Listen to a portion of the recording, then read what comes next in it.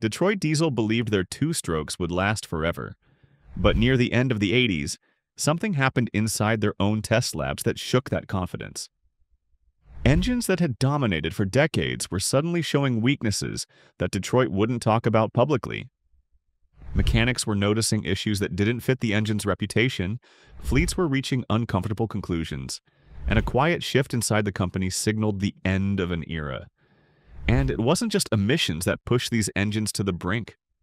What Detroit discovered in those final years changed the future of the company. This is the story of why Detroit Diesel quit making their two-stroke engines. In 1943, a pair of Detroit Diesel 671 engines fired up inside an M4A2 Sherman tank, grinding forward on an Allied front. That same year, another 671 powered a landing craft hitting the beaches of the Pacific. By war's end, Detroit Diesel had produced over 57,000 engines for the Allied war effort, one every 10 minutes at peak production. From the late 1940s through the 1970s, Detroit Diesel's two-stroke engines didn't just shape American industry, they became one of its defining sounds.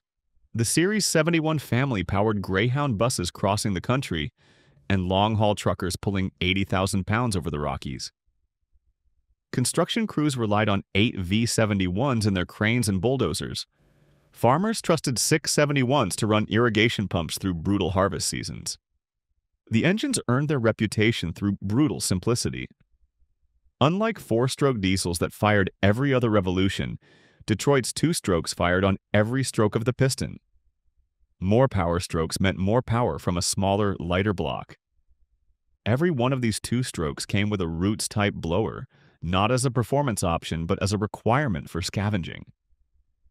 The blower forced fresh air into the cylinders, pushing the burnt exhaust gases out through the exhaust valves, the scavenging process, creating the distinctive high-pitched whine that became known as the Screamin' Jimmy.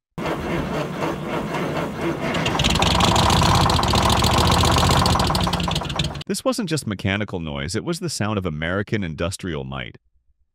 Dock workers could identify a Detroit-powered tugboat from miles away, Construction foremen knew their equipment was running right when they heard that unmistakable roots blower whine echoing across the job site.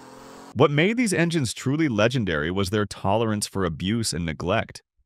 Fleet mechanics discovered that Series 71 engines could handle overloads, poor maintenance, and operating conditions that would destroy other power plants. The unit injector fuel system meant no complex fuel pumps or high-pressure lines to fail, Individual injectors could be swapped in minutes with basic tools. The mechanical blower was about as simple and rugged as it gets. Just gears, rotors, and a cast iron housing that could run an incredible number of hours with minimal attention. Parts availability was another crucial advantage. Whether you needed pistons for a 371 powering a generator in Alaska or connecting rods for a 16V71 in a Great Lakes freighter, Detroit Diesel's modular design meant components were interchangeable across most of the engine family. A mechanic in rural Montana could rebuild a 6V92 using the same techniques and many of the same parts as his counterpart working on tugboats in New Orleans. Fleet operators bought Detroit engines in bulk, knowing they were investing in proven technology. Greyhound operated thousands of buses powered by 8 V71s, accumulating millions of miles with minimal downtime. Construction companies standardized with Detroit Power because mechanics could service any machine in the fleet with the same knowledge and tools. By the mid-1970s, Detroit Diesel had achieved something remarkable. Their two-stroke engines had become synonymous with dependability itself. Mechanics and fleet managers joked that these engines would outlast the company itself, after watching Detroit two-strokes accumulate hundreds of thousands of hours while barely breaking stride. But outside the world of heavy equipment and long-haul trucking, fundamental changes were reshaping the diesel engine industry. Fuel prices were climbing. Environmental regulations were tightening. Most importantly, competitors were making breakthrough discoveries in four-stroke diesel technology that would challenge everything Detroit Diesel thought they knew about engine design. By 1978, something had shifted in the heavy-duty trucking world that Detroit Diesel's engineers couldn't ignore. Fleet managers who had once bought engines based purely on horsepower and reliability were now asking different questions. How many miles per gallon? What's the maintenance cost per mile? How much downtime for service intervals? The oil crises of 1973 and 1979 had fundamentally changed the economics of commercial transportation. Fuel costs that had once been a minor line item in fleet budgets suddenly represented 25 to 30 percent of operating expenses. Owner-operators who had previously chosen engines based on sound and reputation were now calculating fuel economy down to tenths of a mile per gallon. Detroit's two-stroke engines, designed in an era of cheap fuel, began showing their age in this new economic reality. The Series 92, introduced in 1974 as a larger displacement evolution of the 71 series, was built to deliver more power for heavier long-haul and industrial work, while nudging fuel economy and emissions in the right direction compared to earlier two-strokes, but it still lagged behind emerging four-stroke competitors. Internal company testing revealed uncomfortable truths. Cummins' new big cam engines were consistently returning noticeably better fuel mileage in over-the-road applications, where Detroit's 8V92 was already working hard to crack the mid-6 miles per gallon range. The fuel economy gap wasn't the only concern troubling Detroit's engineers. Field reports were documenting new types of problems that hadn't plagued earlier two-stroke generations the Series 92's turbocharging system, designed to boost power and efficiency, proved sensitive to maintenance and operating conditions. Mismatched turbochargers could cause excessive exhaust gas temperatures, leading to piston and cylinder head problems that were expensive to repair. Rack adjustment issues became a persistent headache for mechanics. The two-strokes fuel injection system required precise calibration to achieve optimal performance but the precision required for timing and calibration of the mechanical fuel racks and unit injectors was prone to wear and maladjustment. A slightly out-of-spec setup could cause uneven cylinder firing, excessive smoke, and poor fuel economy. Airbox problems emerged as another troublesome pattern. The Series 92's air intake system, more complex than earlier Detroit designs, proved vulnerable to contamination and seal failures. Dirty air filters or leaking airbox seals could cause the engine to ingest debris, leading to accelerated cylinder wear and reduced service life. Overheating tendencies in certain applications raised additional concerns. The Series 92's higher power density and turbocharging created more heat than earlier naturally aspirated engines, requiring more sophisticated cooling systems. In demanding applications like heavy construction or steep-grade trucking, some operators reported cooling system problems that had been rare with previous Detroit engines. Detroit Diesel's management initially dismissed these issues as growing pains with new technology. Internal memos from 1979 characterized the problems as field adjustment issues that would be resolved through improved service training and parts availability. The company's leadership, steeped in decades of two-stroke success, viewed the complaints as temporary setbacks rather than fundamental design limitations. But in the engineering departments, a different conversation was taking place. Test data from Detroit's proving grounds showed that competitors weren't just matching Detroit's performance, they were exceeding it in key areas. Caterpillar's 3406 engine was delivering superior fuel economy and lower maintenance costs. Cummins' Big Cam series offered better torque curves and longer service intervals. Internal company reports from 1980 documented the widening performance gap. In controlled testing, Cummins' NTC 400 engine turned in clearly superior fuel economy compared to Detroit's 8V92 in identical applications. Caterpillar's 3406B showed 15% longer intervals between major overhauls. The data was undeniable.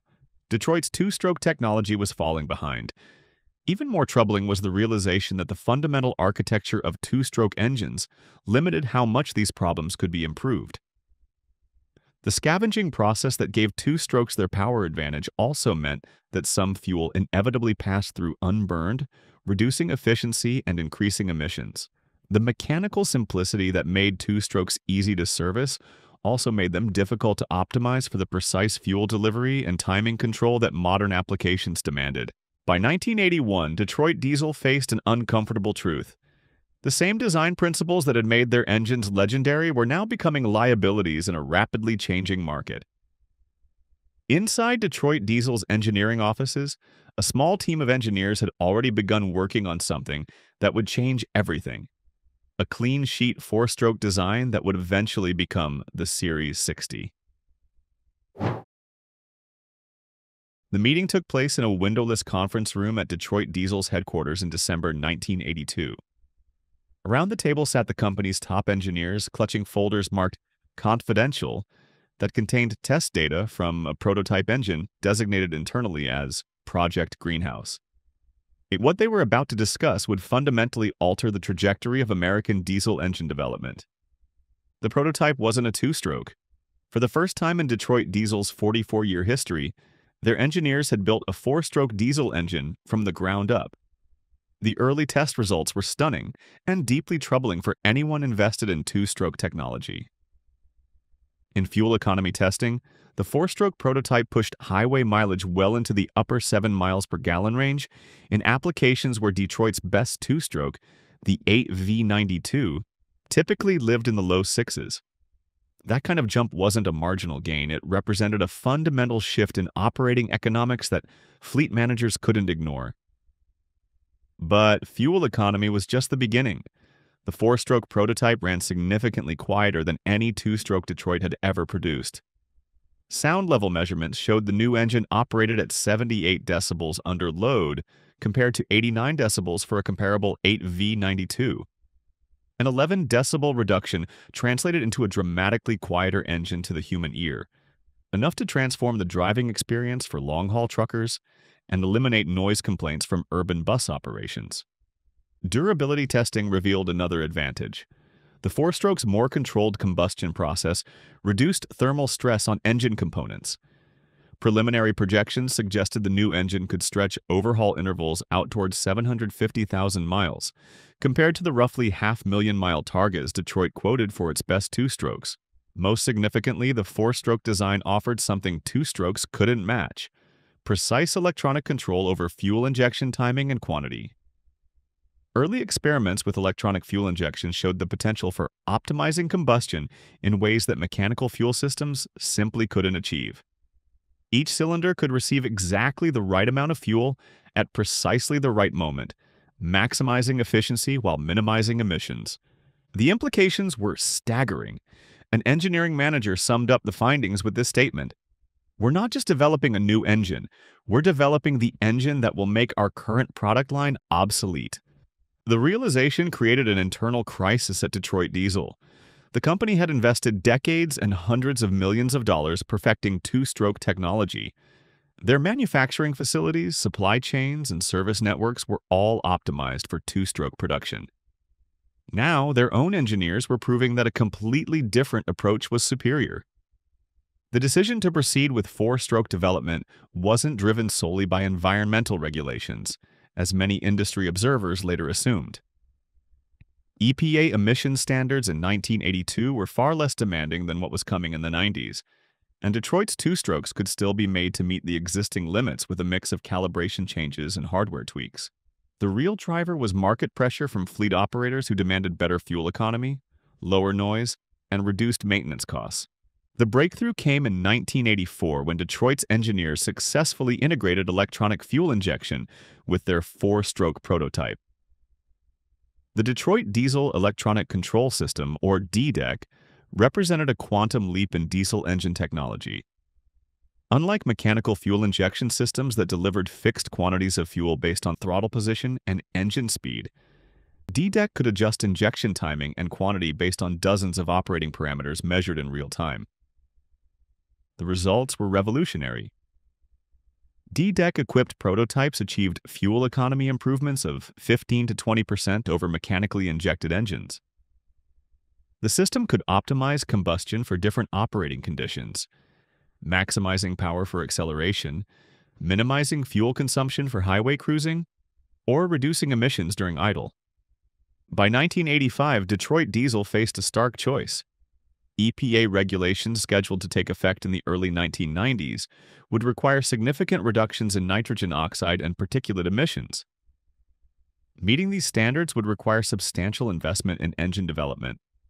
The company could either spend hundreds of millions of dollars trying to make two strokes cleaner, or invest that money in perfecting their four-stroke design that was already proving superior in every measurable category. The decision was made in a boardroom, not an engineering lab. Detroit Diesel would bet their future on the Series 60 four-stroke engine. Development funding for two-stroke improvements was quietly redirected to the four-stroke program. The legendary engines that had built the company's reputation would be allowed to fade away, replaced by technology that their own engineers had proven was simply better.